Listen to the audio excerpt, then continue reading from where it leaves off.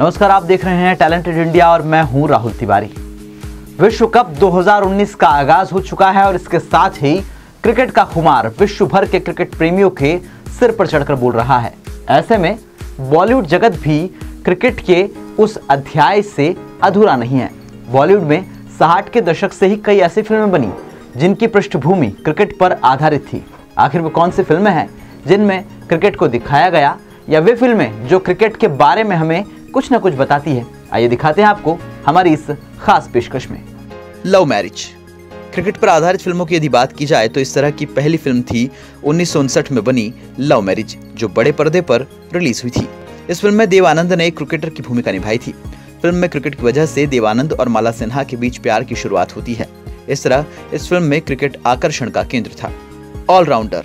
मोहन कुमार के निर्देशन में बनी फ़िल्म ऑलराउंडर में कुमार गौरव और रति अग्निहोत्री मुख्य भूमिका में थे। फ़िल्म की कहानी ऐसे क्रिकेटर की है जिसे कंट्रोवर्सी में फंसा दिया जाता है।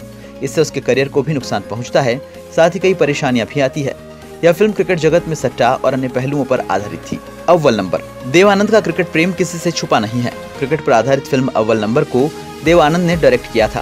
फ़िल्म की स्टोरी क्रिकेटर के इर्द गिर्द घूमती है। फ़िल्म में आदित्य पंचोली और आमिर खान मुख्य भूमिकाओं में थे। ये फ़िल्म बॉक्स ऑफ़िस पर चल तो नहीं पाई, लेकिन इसने इंडस्ट्री में बदलाव और सार्थक विषयों पर बनने वाली फ़िल्मों के लिए बेंचमार्क सेट किया। लगान, आशुतोष गोवारीकर की फ़िल्म लगान बॉक्स ऑफ़िस पर ब्लॉकबस्टर साबित हुई थी। लगान फ़िल्म को दर्शकों ने काफ़ी पसंद किया था। इस फ़िल्म को ऑस्कर के लिए नामित भी किया गया था। इस फ़िल्म की कहानी भी क्रिकेट की पृष्ठभूमि पर ही आधारित है। फ़िल्म में आमिर खान की एक्टिंग को काफ़ी पसंद किया गया था।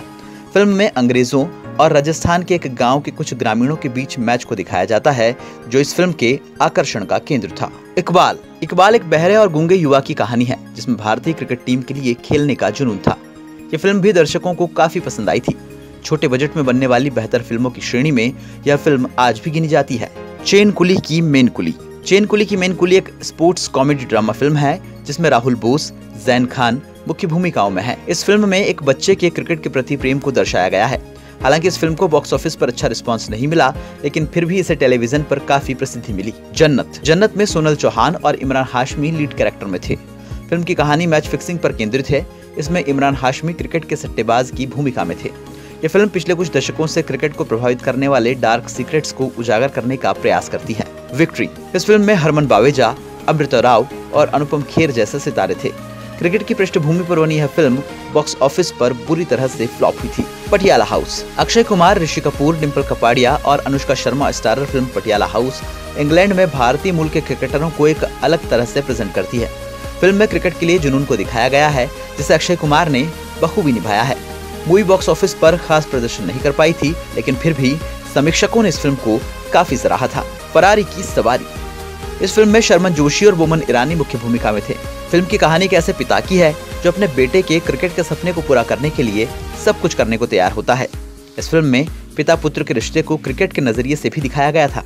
इसके अलावा यदि बात करें तो क्रिकेट के ऊपर कई सारी फ़िल्में बनी हैं, जिनमें महेंद्र सिंह धोनी की बायोपिक दिल बोले हडिप्पा, अजहर जैसी फ़िल्में भी शामिल हैं। क्रिकेटर सचिन तेंदुलकर पर एक डॉक्यूमेंट्री फ़िल्म भी बनाई गई थी जिससे काफ़ी सफलता मिली थी। स्पेशल रिपोर्ट टैलेंटेड इंडिया अगर आपको हमारे वीडियोस पसंद आए तो प्लीज़ लाइक करें सब्सक्राइब करें और शेयर करें।